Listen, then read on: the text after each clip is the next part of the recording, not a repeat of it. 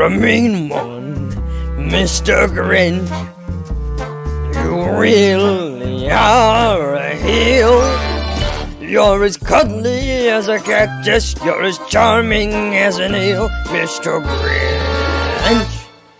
You're a bad banana with a greasy black peel.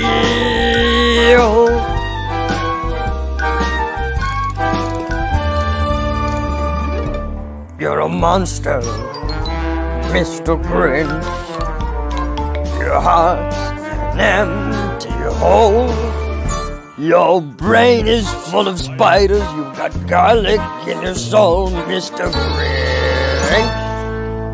I wouldn't touch you with a 39 and a half foot pole. You're a vile one, Mr. Grinch. You have termites in your smile.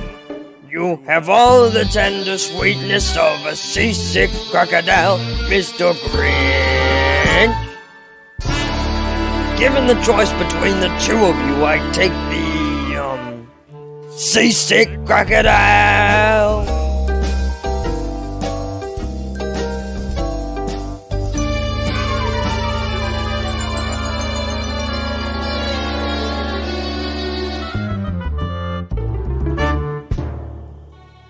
Rotten Mr. Grinch. You're the king of sinful sots. Your heart's a dead tomato blotched with moldy purple spots, Mr. Grinch. You're a three-decker sauerkraut and toadstool sandwich with arsenic sauce.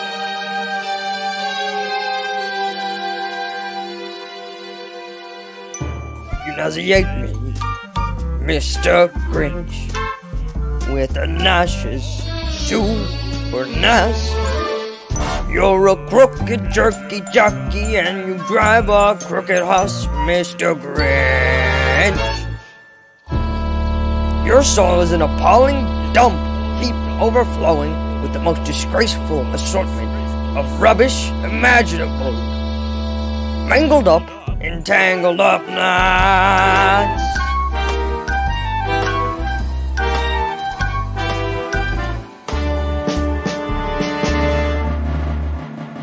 You're a foul one, Mr. Grinch.